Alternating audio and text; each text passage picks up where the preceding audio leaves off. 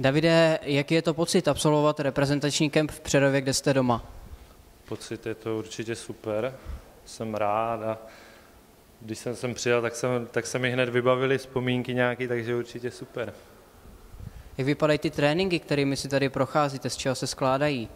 Jo, tak ty dopolední tréninky jsou rozdělený vždycky půl hodiny na útočníky beky a tam máme jako hodně zaměření na střelbu. Trenéři po nás jsou, aby jsme eh, trefovali bránu a to, takže střelba je hodně zaměřená a pak různé založení a odpoledne bývá hra. Dohlíží na vás, tedy především na vás dohlíží slavná persona předovského hokeje, pan trenér Miloš Říha. Jak je to podle vás kouč, jak se vám pod ním trénuje?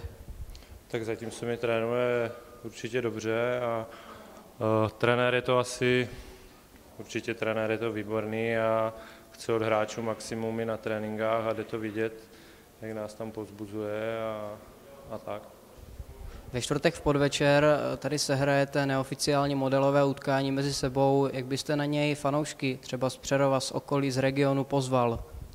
Nevím, jak bych je pozval, ale tak určitě je to pro fanoušky Kor v Přerově hokej tady mají rádi, takže určitě by to pro ně mohla být dobrá podívaná, i když to není oficiální zápas s někým, s nějakou jinou zemí, ale určitě to bude super hokej a pro fanoušky je to to nejvíc asi podle mě, co, co může přijet sem.